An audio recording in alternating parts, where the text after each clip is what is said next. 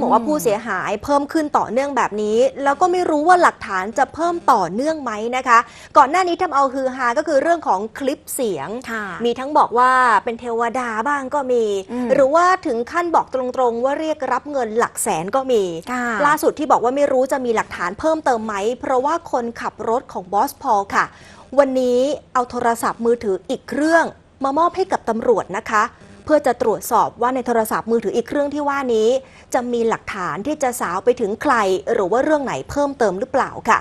ส่วนทนายตั้มสิทธานะคะ เดี๋ยวเตรียมที่จะเข้าพบกับอธิบดีกรมสอบสวนคดีพิเศษในวันพรุ่งนี้ค่ะ พร้อมร้องทุกข์ให้ดำเนินคดีกับเจ้าของคลิปเสียงก่อนหน้านี้ค่ะ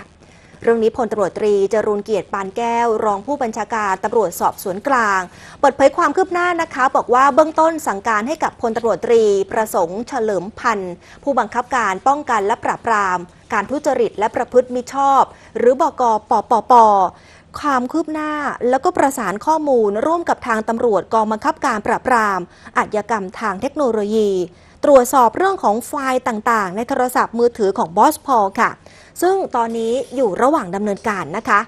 ส่วนจะเชิญนักการเมืองหรือว่าบุคคลที่ถูกพาดพิง มาให้ปากคำหรือไม่ เดี๋ยวต้องรอก่อนค่ะ รอผลการตรวจพิสูจน์หลักฐานให้แน่ชัดและในวันพรุ่งนี้นะคะ 21 ตุลาคม จะมีการประชุมร่วมกับทีมของตำรวจ บกปปป นอกรอบ เพื่อจะหารือในแนวทางการทำงานค่ะ ขณะเดียวกันเมื่อช่วงเย็น คนขับรถส่วนตัวของบอสพอลคนนี้เขาชื่อว่านายเอกค่ะนายเอกเดินทางมาหาตำรวจนะคะ ไม่ได้มามือเปล่าค่ะเขาเอาโทรศัพท์มือถืออีกเครื่องของบอสพอลมาให้กับทางตำรวจชุดคลี่คลายคดีค่ะ ซึ่งผู้สื่อข่าวก็ได้เจอกับนายเอกก็มีบางช่วงบางจังหวะพูดคุยสอบถามนะคะนายเอกยืนยันนะคะว่าเขาไม่ได้มีเจตนาในการนำโทรศัพท์มือถือของบอสพอลไปซุกซ่อน เพียงแต่ว่าตั้งใจจะเอาไปให้กับเลขาค่ะ ซึ่งเจ้าหน้าที่ก็จะนำส่งโทรศัพท์มือถือเครื่องนี้ให้กับทางตำรวจบกปอท เพื่อจะตรวจวิเคราะห์กันต่อไป รวมถึงไปดูไฟล์ต่างๆ ในโทรศัพท์มือถือ ไม่ว่าจะเป็นรูปหรือว่าคลิปเสียงนะคะ เนื่องจากว่าตอนนี้ยังไม่มีบุคคลใกล้ชิดคนใดของบอสคอบอสพอทราบเรื่องของรหัสโทรศัพท์มือถืออีกเครื่องหนึ่งเดี๋ยวจะต้องไปดูว่ารหัสอะไรที่จะเข้าถึงข้อมูลในโทรศัพท์มือถือเครื่องนี้ด้วยนะคะอืมและหากตรวจสอบข้อมูลภายในเครื่องแล้วพบว่ามีคลิปเสียงจริง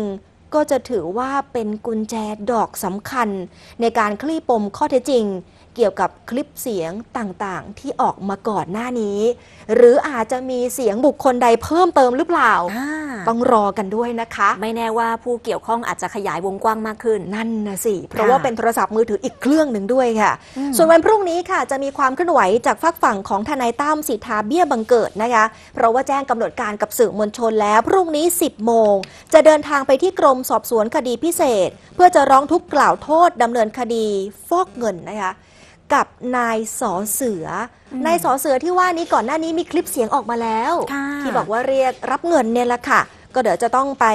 มาแจ้งความกล่าวทุกข์เพิ่มเติมกันนะคะ แล้วก็ยังโพสต์ข้อความผ่านทาง Facebook ของทนายตั้มสิทธา บอกว่าก่อนที่ตำรวจจะออกหมายจับแก๊งเดอะไอคอนรุกขเทวดา